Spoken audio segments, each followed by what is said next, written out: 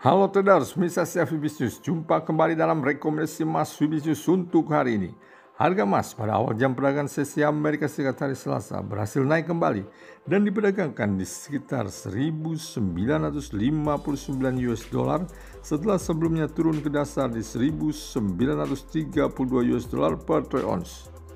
Pasar keuangan berjuang mempertahankan optimisme menyusul berita-berita pada akhir minggu yang menunjukkan bahwa otoritas Amerika Serikat telah berhasil mencapai kesepakatan mengenai batas hutang untuk menghindari gagal bayar.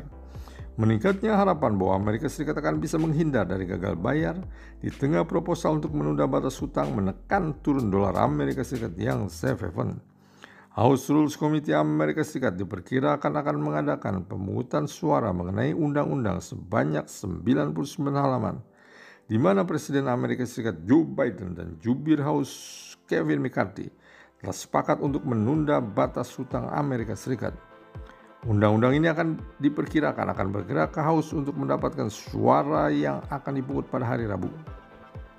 Pergerakan yang positif di dalam sentimen terhadap resiko setelah liburan akhir minggu yang panjang di Amerika Serikat tidak memperbolehkan dolar Amerika Serikat untuk memperpanjang rally-nya sehingga membuat harga emas naik.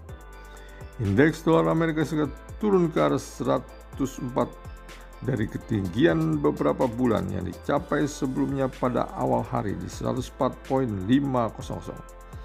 Support terdekat menunggu di 1944 US dollar yang apabila berhasil dilewati akan lanjut ke 1935 US dollar dan kemudian 1912 US dollar. Resisten terdekat menunggu di 1965 US dollar yang apabila berhasil dilewati akan lanjut ke 1972 US dollar dan kemudian 1985 US dollar. Demikian rekomendasi emas untuk hari ini. Semoga bermanfaat bagi Anda. Selamat berinvestasi. Sukses selalu. Salam hibis.